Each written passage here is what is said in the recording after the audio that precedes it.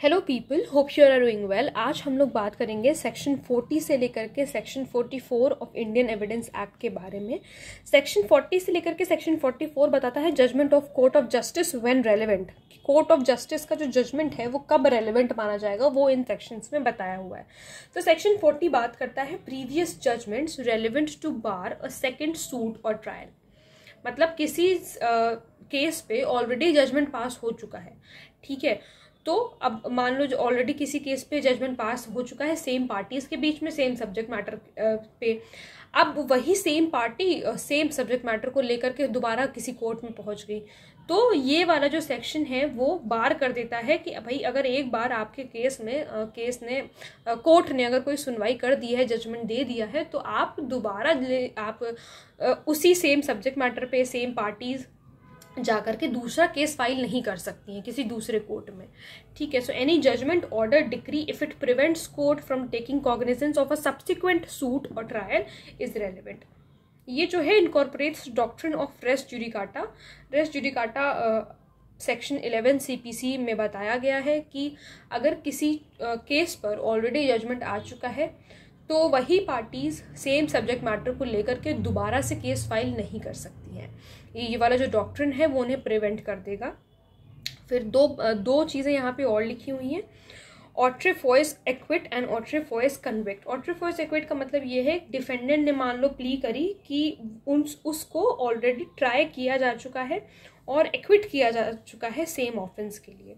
ठीक है तो फिर ये वाला भी जो डॉक्ट्रिन है वो बार कर देता है कि आप दोबारा से केस फ़ाइल नहीं कर सकते और ऑट्रीफॉइस कन्विक्ट उसका, इसका उल्टा है इस डॉक्ट्रिन का, ठीक है? तो समझ में आया सेक्शन फोर्टी क्या बताता है? सेक्शन फोर्टी बात करता है कि अगर एक बार किसी केस पे जजमेंट दे चुकी है कोर्ट तो इन डॉक्ट्रिन्स को ध्यान में रखते हुए दोबारा से आप नहीं जा सकते सेम पार्टीज़ और सेम सब्जेक्ट मैटर पे आप दोबारा केस फ़ाइल नहीं कर सकते हो। देखो अपील करना अलग बात है।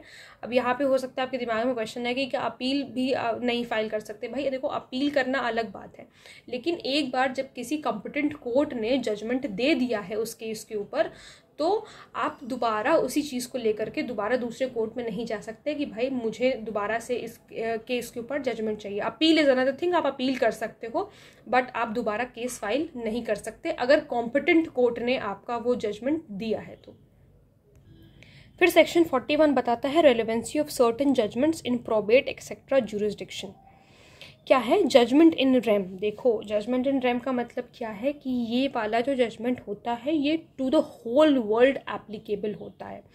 Final judgment order decree of court probate matrimony admiralty insolvency देखो प्रोबेट में प्रोबेट का मतलब है कि विल को लेकर के अगर कुछ डिसीज़न कोर्ट ने दिया है मैट्रोमोनी तो मैरिटल रिलेशंस को लेकर के अगर कोर्ट ने कुछ डिसीज़न दिया है एडमिरालिटी का मतलब होता है वॉर क्राइम्स को लेकर के इंसॉल्वेंसी का मतलब आप लोग को पता है, कोई बैंक हो जाता है तो ठीक है, कोई दिवालिया हो जाता है बेसिकली सो डिक्लेयर्स और takes away any legal character of person are relevant against the whole world now this is relevant against the whole world मैं ऐसा क्यों कह रही हूँ? फॉर एग्ज़ाम्पल कोई हस्बैंड और वाइफ है, ठीक है, उन्होंने कोर्ट में केस फ़ाइल किया डिवोर्स का।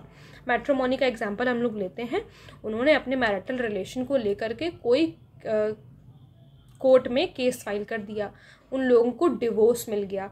अब जब डिवोर्स मिल गया है तो ये जो हो गया, ये जजमेंट इन रेम हो गया, क्योंकि अब वो सारी दुनिया के लिए डिवोर्स्ड हो गए हैं, ठीक है। तो वही बता रहा है कि अगर डिक्लेयर कर देता है, अगर डिक्लेयर कर देता है या फिर कैरेक्टर लीगल कैरेक्टर ले लेता है। मतलब वो मैरिड थे, अब उनको डिवोर्स कह दिया कोर्ट ने डिवोर्स का जजमेंट दे दिया। तो उनका जो लीगल कैरेक्टर था पहले मैरिड का, वो तो वापस ले लिया ना कोर्ट ने। तो ये जो होगा, ये रेलिवेंट होगा। समझ में आया? ये जो जजमेंट्स होते हैं, ये कंक्लूसिव प्रूफ होते हैं। सेक्शन 42 बात करता है relevancy of judgments other than those mentioned in section 41 section 41 के अलावा जो बाकी जो जजमेंट्स हैं, वो कब रेलिवेंट होंगे, वो बताता है section 42 so they will be relevant if they relate to matter of public nature वो रेलिवेंट कब होंगे जब वो एक पब्लिक नेचर के मैटर को रिलेट कर रहे हो, यानी कि पब्लिक को इफ़ेक्ट करने वाले मैटर को रिलेट कर रहे हो, या फिर it is relevant to inquiry जो इंक्वायरी कोर्ट में चल रही है, अगर उससे रिलेट कर रहे हैं तो भी वो रेलिवेंट होंगे। ये कंक्लूसिव प्रूफ नहीं होते हैं, ये सिर्फ़ as a piece of evidence जो है कोर्ट में एडमिसिबल होते हैं but they are not conclusive proof for example illustration है ए ने बी को स्यू किया फॉर ट्रेसपास ए ने बी को स्यू किया फॉर ट्रेसपास और बी क्या कहता है? Alleges existence of right of way which A denies A ने क्या किया? ए ने ये एलिज किया कि आप मतलब जिस जिस जगह के लिए ए ने मुझे ट्रेसपास के लिए सू किया है, वहाँ पर मेरा राइट ऑफ़ वे है। अब ए इस बात से डिनाई कर रहा है, तभी तो उसने स्यू किया, ठीक है? B shows existence of decree between A and C B क्या करता है? पिछला जो कभी जजमेंट जो ए और सी के बीच में जो केस चला होगा, उसका जो जजमेंट आया होगा, उसकी जो है डिग्री दिखा देता है कोर्ट में। उसकी डिग्री वो कोर्ट में दिखा देता है, जिसमें लिखा है in which C alleged same right and court decided in C's favour जिसमें सी ने भी सेम राइट को अलेज किया। जिसने सी में, जिस जिस जजमेंट में प्रीवियस जजमेंट में, सी ने भी सेम सेम चीज़ को एलेज किया था सेम कहा था कि भाई मेरे पास राइट ऑफ़ वे है, लेकिन ए ने मुझे ट्रेस पास किया सू के सू किया है ट्रेस पास के लिए। अब यहाँ पर क्या हुआ था? सी जीत गया था केस तो वही बता रहा है कि प्रीवियस जजमेंट जो है वो रेलिवेंट होंगे। ऐसे जजमेंट्स जो कि सेक्शन 41 में रेलिवेंट नहीं है, वो सेक्शन 42 में रेलिवेंट होंगे इस बेसिस पर। तो ये जो चीज़ जो बी ने दिखाई है, ये रेलिवेंट होगी अंडर सेक्शन 42 लेकिन ये कंक्लूसिव प्रूफ नहीं है। ए जो है, इसको रिबट कर सकता है। ठीक है? मतलब इस इस जो डिग्री जो बी ने शो करी है, इसको रिबट करने के लिए वो एविडेंसेस शो कर सकता है कोर्ट में। समझ में आया? एक बार फिर से समझो। ए ने बी को ट्रेसपास के लिए सू किया। ए ने बी को ट्रेसपास के लिए सू किया। बी ने कहा कि मेरा राइट ऑफ़ वे है यहाँ पर। ठीक है जिस चीज़ के लिए ए ने मुझे सू किया है वो चीज़ सही नहीं है और uh, मेरा राइट ऑफ़ वे है। अब इस अपनी बात को प्रूव करने के लिए कि भाई मेरे पास रास्ता है वहाँ से आने जाने का मेरे पास राइट है वहाँ से आने जाने का अपनी बात को प्रूव करने के लिए पिछला जो कभी आ, केस चला होगा ए और सी के बीच में उसने उसकी डिग्री दिखा दी जिसमें सी जीत गया था और सेम मैटर पर ही बात हुई थी ठीक है सेम मैटर पर ही बात हुई थी कि राइट ऑफ़ वे के बारे में ही झगड़ा हुआ था।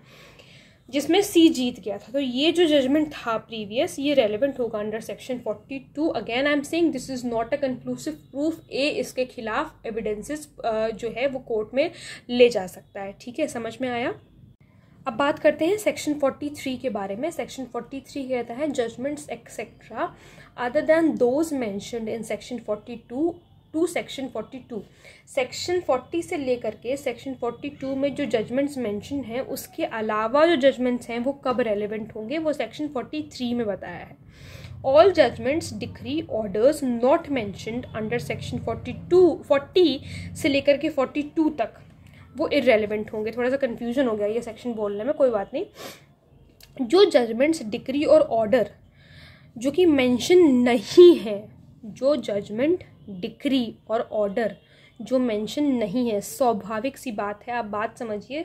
जो जजमेंट्स डिक्री और ऑर्डर मेंशन नहीं है सेक्शन 40 से लेकर के सेक्शन 42 में, वो इरेलीवेंट होंगे। क्योंकि भाई एक बार एक पैनल में जिस चीज़ को रेलिवेंट बता दिया है, अब उसके अलावा अगर कोई जजमेंट की आप बात करोगे तो वो इरेलीवेंट ही होगा। मतलब कोर्ट उसको नहीं मानेगी, वो रेलिवेंसी है ही नहीं किसी तरीके से उस बात की।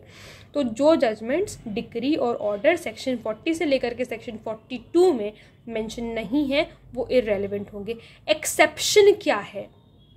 ये जो पूरा जो सेक्शन है, वो इस बारे में, इन एक्सेप्शंस के बारे में बात कर रहा है कि भाई हमने मान लिया इरेलीवेंट होंगे। जो उसमें मेंशन नहीं है, वो इरेलीवेंट होंगे। लेकिन अब रेलिवेंट कब हो सकते हैं, ये भी जानना ज़रूरी है। So when its existence is itself a in issue जब कि उसका जो एग्जिस्टेंस है, वो खुद एक फैक्ट एंड इशू है तो वो जजमेंट रेलिवेंट होगा under section 43 when it's relevant under under some other provision of the act या फिर वो किसी मतलब पूरे सेक्शन पूरे एक्ट में किसी और प्रोविज़न में अगर रेलिवेंट है तो वो सेक्शन 43 में भी वो जजमेंट रेलिवेंट होगा। समझ में आया? फिर से एक बार एक्सेप्शन देखो कि अगर उसका जो एग्जिस्टेंस है वो खुद एक फैक्ट इन इशू है तो वो जजमेंट रेलिवेंट होगा अदरवाइज़ नहीं होगा।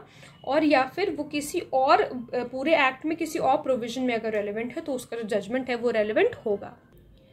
फिर section 44 last section of this video talks about fraud और कोल्यूशन इन ओप्टेनिंग जजमेंट और incompetency of court may be proved judgment which is relevant under section 40 to 42 will become is relevant जो judgment section 40 से लेकर के section 42 में mention किए गए हैं कि रेलिवेंट होते हैं, वो इरेलीवेंट हो जाएँगे अगर। अगर वो बाय फ्रॉड ओपटेन किए गए हैं। कोई फ्रॉड हुआ है जजमेंट को ओपटेन करने में, कोई खोल्यूजन हुआ है या फिर वो इनकॉम्पिटेंट कोर्ट से डिलीवर किए गए हैं तो वो सा ये जो जजमेंट जो सेक्शन 42 से सेक्शन 40 से लेकर के सेक्शन 42 में बताए हैं, ये सारे इरेलीवेंट हो जाएँगे। इनकी जो एविडेंशरी वैल्यू है वो पूरी तरीके से ख़त्म हो जाएगी। ठीक है? तो आई होप आप लोग को सेक्शन फोर्टी से लेकर के सेक्शन फोर्टी फोर तक सारे ही सेक्शन समझ में आए होंगे। अगर कोई प्रॉब्लम है तो please let me know in the comment section और अगर आप लोग इस टॉपिक पे वीडियो देखना चाहते हैं तो वो भी प्लीज़ मुझे ज़रूर बताइएगा। Thank you so much